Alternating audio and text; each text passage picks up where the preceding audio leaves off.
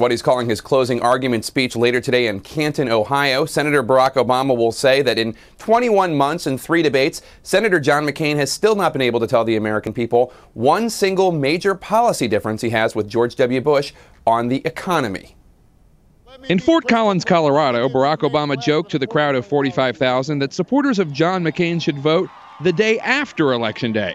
If you're voting for the other guy, you should just wait until November 5th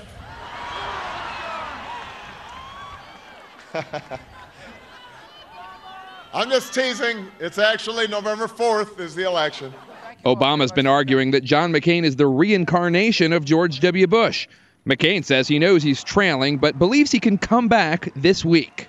I guarantee you that uh, two weeks from now, you will see this has been a very close race, and I believe that I'm going to win it. McCain's closing argument the three headed liberal monster.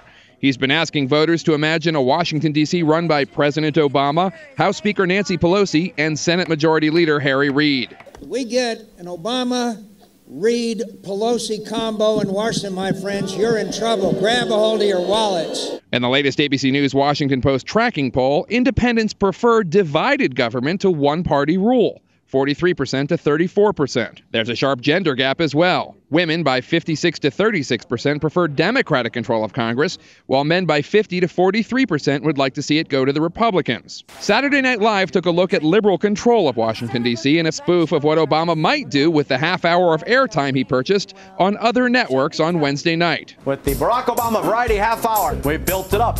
We built it up, and now it's solid.